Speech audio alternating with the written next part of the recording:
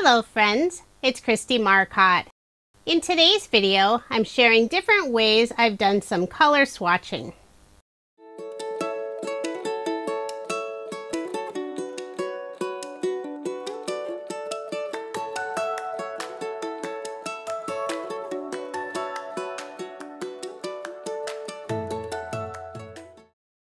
Several months ago, Catherine Pooler released several stamp sets and a die set, items you can use for color swatching.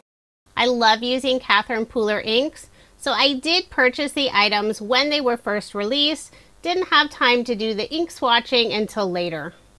Several of the sets are specific to Catherine Pooler inks, but a couple of them you could use with other ink brands. There's one die set, this is called Ink Swatch Tag Die, and this would be fun to use for sentiments on cards, doesn't have to be for ink swatching. The stamp set that would work with any ink brands is called Color Swatch.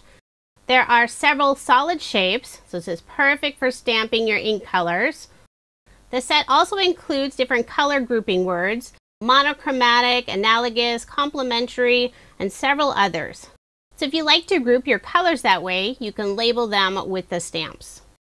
The next stamp sets are specific to Catherine Pooler ink colors. This set is called Ink Families.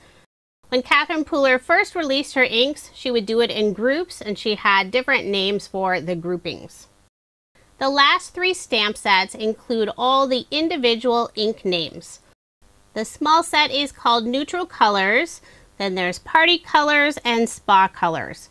And all three of the sets also include some small solid images.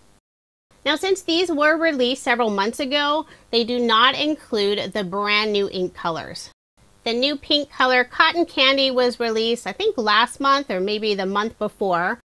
And she just released a new green called With an Olive and a really pretty blue called On the Lake. I've already ordered mine and I can't wait to use them.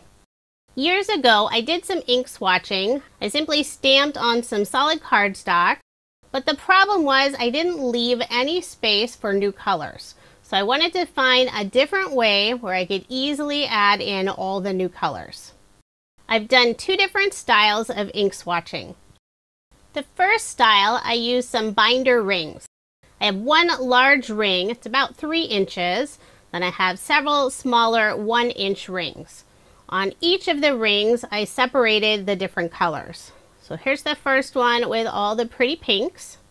I use both of the dies in the ink swatch tag set. I don't want the tags to easily rip from the metal rings, so I did use 120 pound cardstock. I have all of the colors separated on different rings, I can easily remove one of the rings with the colors if I need to compare it to some pattern paper or cardstock I'm using. I currently have the inks in the same order as my full-size ink pads. So now when Catherine Pooler releases new colors, which she will, it'll be easy to create a new tag and simply pop it in with the right colors.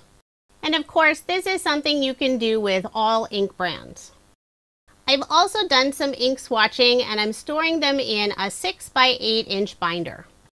The binder is something I've had on hand for a few years and it wasn't being used, so I thought this would be perfect.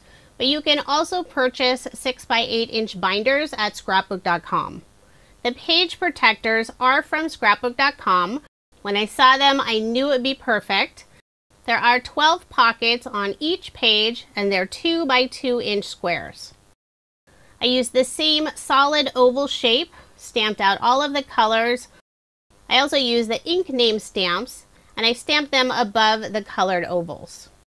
I'm keeping all of the color groupings separate. I will use the front and back page, but currently there are only a few colors that have more than 12 shades. This set of page protectors includes 10 sheets, and I did purchase several packs. I wanted to make sure I have plenty as new ink colors are introduced. Although I think it would take a long time for me to fill all of the page protectors I purchased. So with some of the extra sheets, I'll be doing more ink swatching, this time using my Ranger Distress Oxide inks. I have some random ink pads from other companies, but currently Catherine Pooler and Ranger Distress Oxide inks are the only brands where I have every single color. I realize this is not a unique idea. Lots of people have been doing ink swatches this way for years and years, but this is the first time I've tried it and I wanted to share it with you. If you are interested in the products I showed in this video, I do have links provided in the description box below. If you've done a different style of ink swatching, leave a comment. I'd love to know about it. Thank you so much for watching, and I hope you have a wonderful day.